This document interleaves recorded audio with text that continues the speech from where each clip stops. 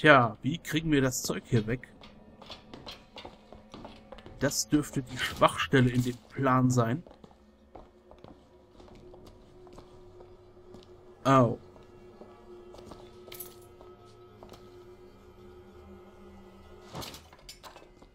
Ja, die armen Leute haben es hier nicht schön.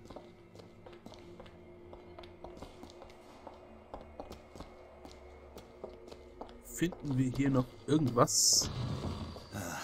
Können das unmöglich alles zur Werkstatt schleppen. Mist, das haben wir natürlich nicht bedacht. Was ist das? Es sieht aus wie ein Riss. Zu einer anderen Version dieses Raums, ohne Geräte drin.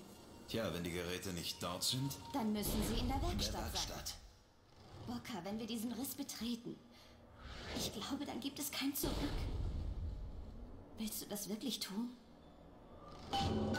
Das hast du schon beim letzten Mal gefragt und äh, ich fürchte auch dieses Mal haben wir keine Wahl. Ich halte das für keine sonderlich äh, gute Idee, ständig hier sozusagen ähm, zwischen den Welten zu hüpfen oder sie zu manipulieren, wie man es auch sehen will. Nee, den Karabiner möchte ich nicht. Ich schätze, wir müssen. Also öffne das Ding. Mach.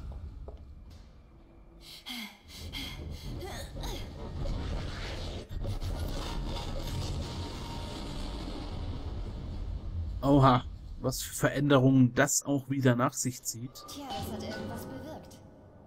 Los, gehen wir wieder zu diesem Schmied und bringen es zu Ende. Ich möchte schnellstmöglich auf dieses Luftschiff und weg von hier. Booker, wenn die Vox ihre Waffen hat, gibt es eine Revolution wie in Les Miserables. Dann haben die Menschen ein besseres Leben.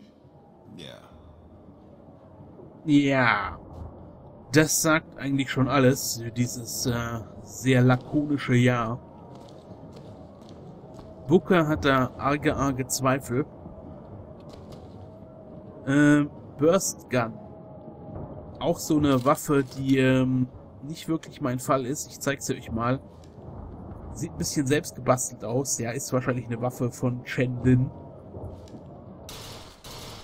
Man kann ein bisschen ranzoomen. Sie verzieht und äh, macht nicht wirklich Schaden. Da bleibe ich doch lieber bei meiner neuen großen Liebe, dem Revolver. Äh, wir hören so ein bisschen Krawall im Hintergrund. Und ein paar Explosionen. Schauen wir doch mal, was da vor sich geht. Können wir hier irgendwas finden?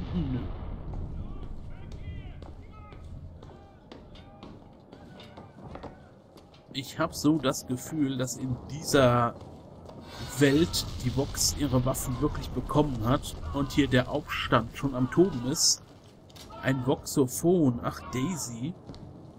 Hören wir doch mal rein. Habt ihr einmal einen Wald zu Beginn eines Waldbrands gesehen? Kurz vor den ersten Flammen sieht man die Beutelratten und die Eichhörnchen durch die Bäume fegen. Sie wissen, was kommt. Aber die fetten Bären mit ihren Bäuchen voller Honig, tja, die kriegt man kaum dazu, aus ihrem behaglichen Winterschlaf aufzuwachen. Wir gehen nach Emporia. Mal sehen, was nötig ist, um sie aus ihrem Schlummer zu reißen. Okay. Ja, ich glaube, Daisy hat ihre Waffen und äh, wow. Ihr Feldzug hat gerade erst richtig begonnen.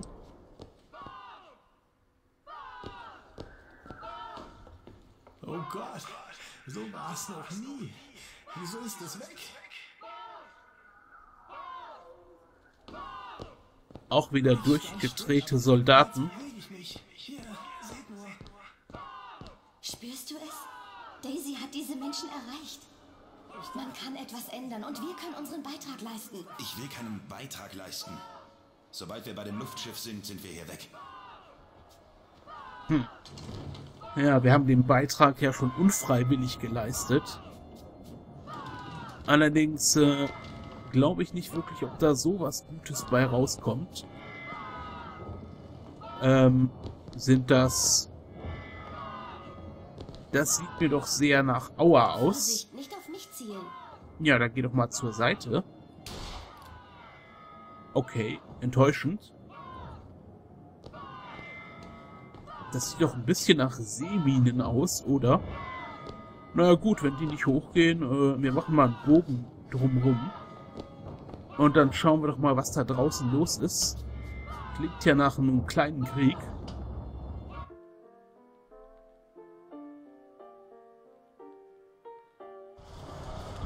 Ähm, hallo?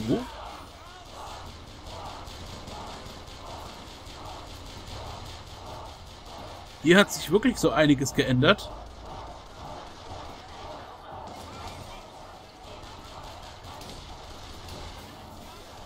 Wir haben scheinbar Unterstützung. Die Vox Populi kämpft an unserer Seite.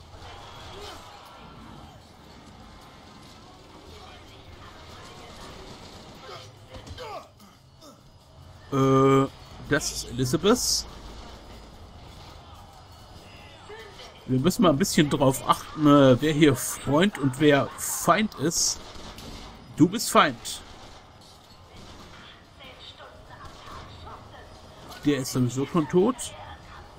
Äh, ich schwing mich mal darunter. Das sind auch alles Vox Populi, die tun uns nichts. Hoffe ich doch mal. Äh, du bist kein Freund. Moment, äh, wir machen kehrt. Verdammt. So, den haben wir. Sind hier noch welche? Das ist äh, Elizabeth, die uns folgt. Wir wechseln mal kurz die Skyline. Da unten wird noch äh, ordentlich gekämpft. Äh, du hast nichts für uns. Dein Maschinengewehr wollen wir nicht.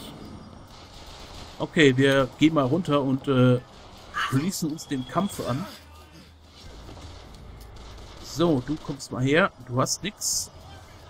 Das sind äh, die sind nicht nett. Schön aufpassen, wen wir hier erschießen. Äh, das sind keine Freunde. Einmal nachladen und, äh, na, so. Ich hoffe mal, das war, äh,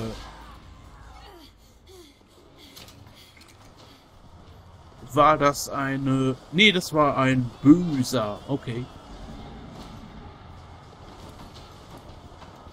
Unsere Kräfte benutzen wir hier mal besser auch nicht. Ich kann mir vorstellen, dass sonst ähm, die Vox-Leute da reinrennen und dann haben wir auch wieder ein Problem. Ach ja, Daisy Fitzroy. Sie hat es scheinbar wirklich geschafft.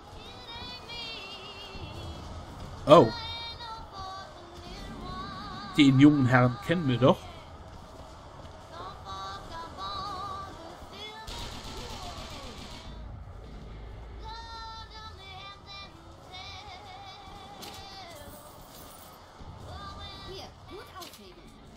Dankeschön.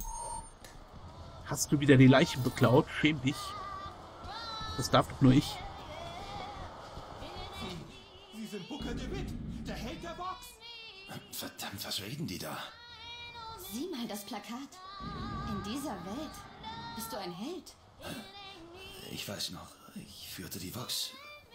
Ich, Slate und ich brannten die Hall of Heroes nieder.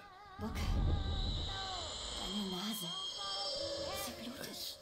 Kaum denken. Ich habe zwei Erinnerungen an dieselbe Booker, Sache. komm zurück. Wir finden Daisy Fitzroy. Und wir verschwinden von hier mit der First Lady. Los, komm.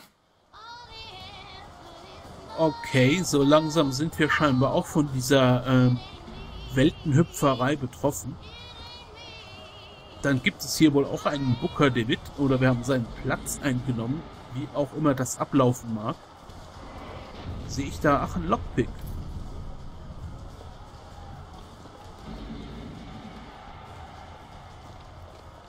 Oh.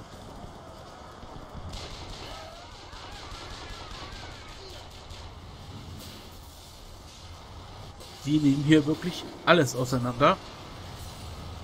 Ja, Gnade kennen sie auch nicht unbedingt. Hm. kann man so oder so sehen, ob sie jetzt Gnade verdient hätten.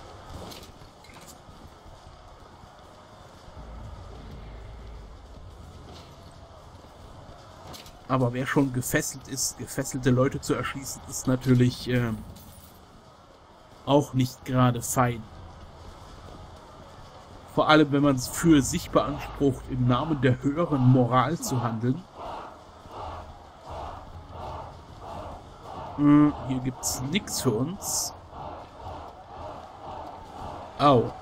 Aufgehängt. Ach, seht mal, ist das nicht unser Luftschiff?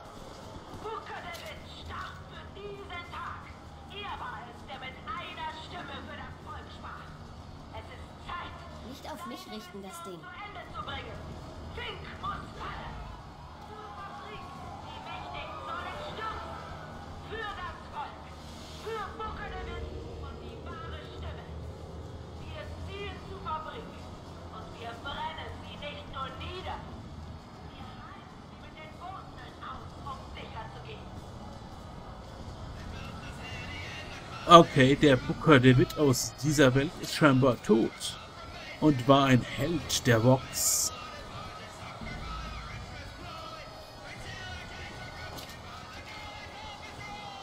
Ja, die feiern hier ihren Sieg. Können wir jetzt eigentlich gefahrlos hier ähm, Sachen plündern oder... Oh.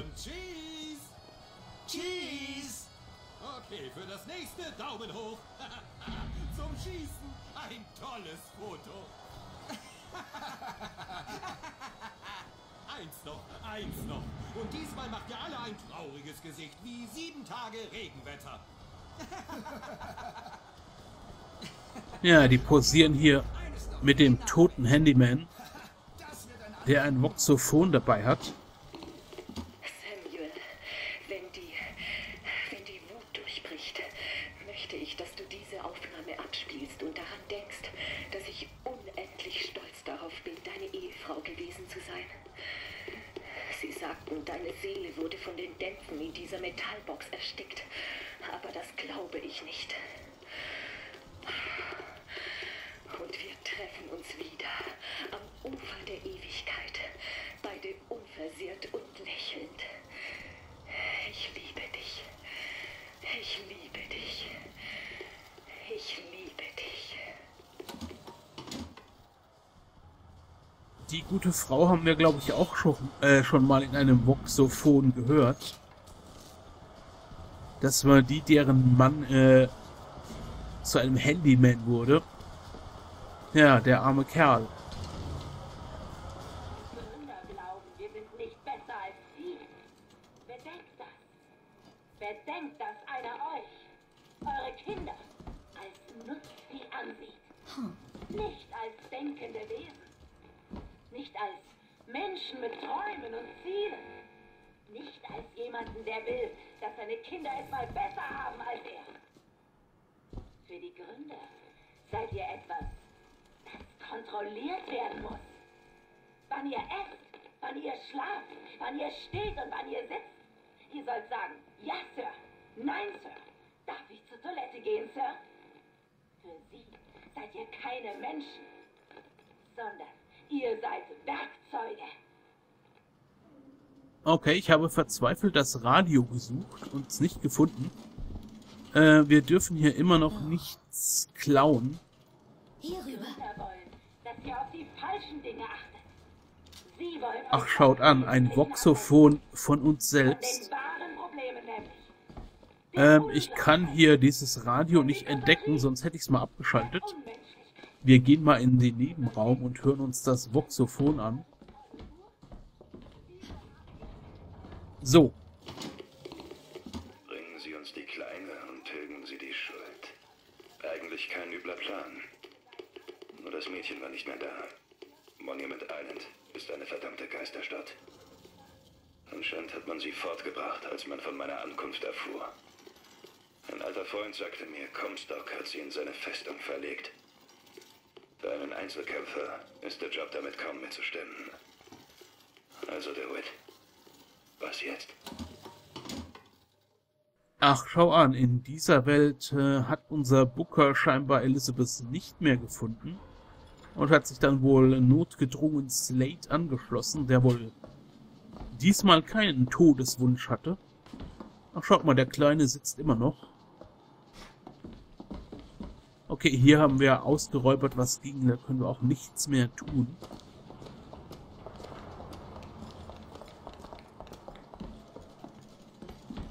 Äh, ich schätze mal, die Automaten sollten wir immer noch besser nicht hacken. Das würde wohl nicht gut ankommen.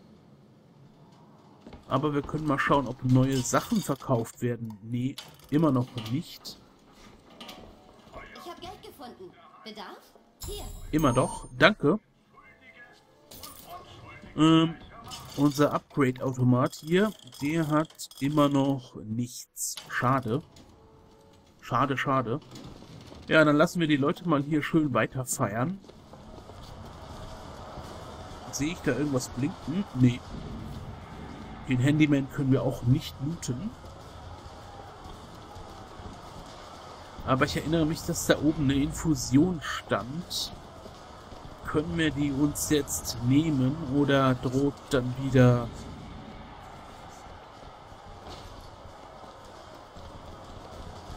Hm, ich versuch's einfach mal. Was nehmen wir denn? Ach kommt, ich nehme noch mal Schild und äh, dann haben wir ihn fast voll.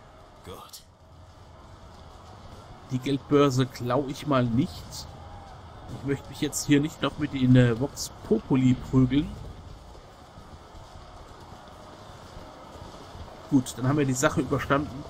Wären wir da vorhin rangegangen, hätte es Ärger gegeben. Ja, dann ist wohl die Revolution nach Shantytown gekommen. Ob das alles so gut war, was wir hier getrieben haben. Ich denke, wir fahren mal wieder hoch. Ja. Knöpfchen drücken.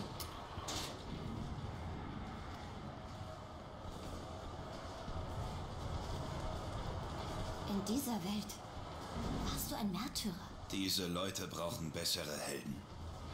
Genau betrachtet unterscheiden sich Comstock und Daisy Fitzroy letzten Endes nur durch ihren Namen.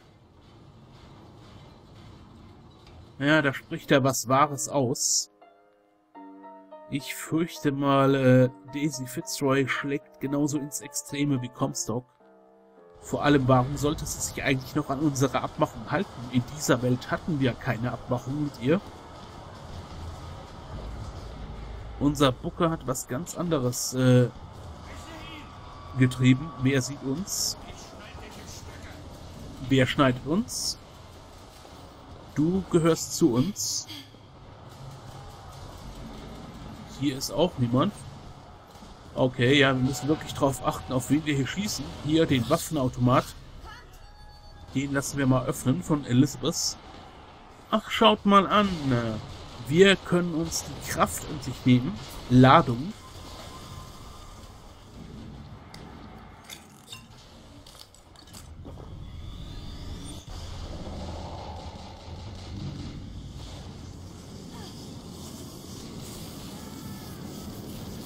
Sieht recht stürmisch aus. Und was kann es?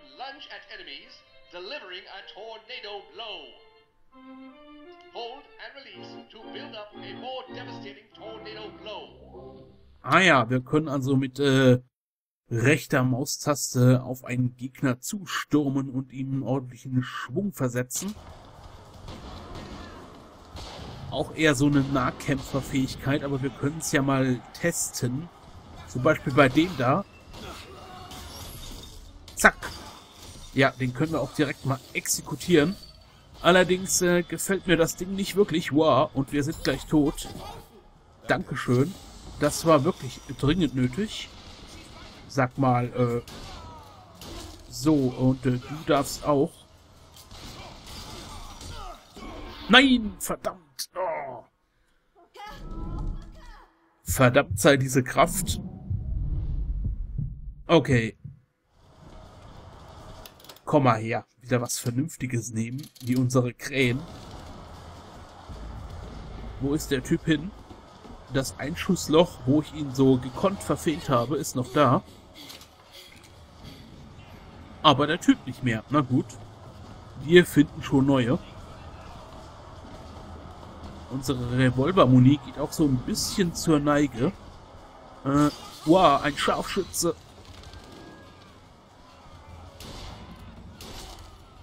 Haben wir den? Nein, wir haben ihn nicht. Jetzt haben wir ihn, glaube ich. So, einmal nachladen. War es das jetzt oder macht hier noch jemand Ärger? Wir hatten lange keinen äh, Besuch mehr von einer Krähe oder von einem äh, Fireman. Ich hänge mich da mal kurz an den Haken. Wenn ich ihn denn ins Ziel bekäme. Ja, bekomme ich. Äh, da ist jemand. Na. Und, äh, oh oh, das ist so einer. Den möchte ich gerne beherrschen. Hier, du darfst mal einen Raketenwerfer Fuzzi.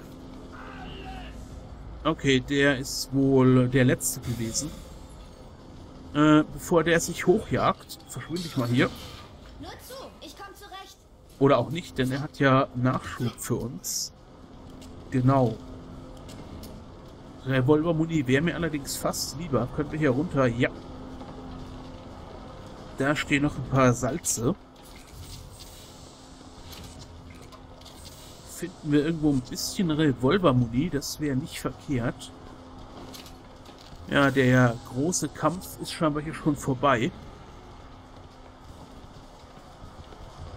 Äh, Moment. Salze, Salze voll. Blöd. Können wir jetzt inzwischen mal hier irgendwo... Okay, langsam wird's lächerlich. Aber wir können,